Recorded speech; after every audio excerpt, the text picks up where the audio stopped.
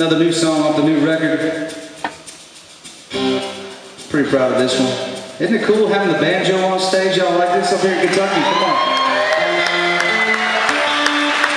Robbie's like, I finally got a job. We borrowed him from Jo Dee Messina. See, I borrow everybody.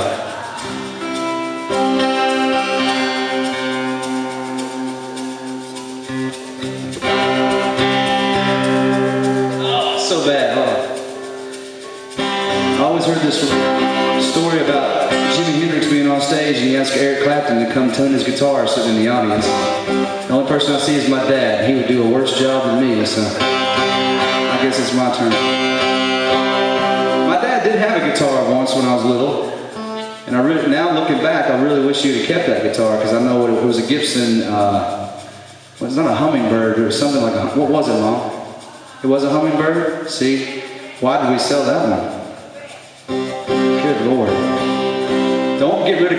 You got one under your bed or something, call me. It's probably exactly what I've been looking for. All right, here's a song called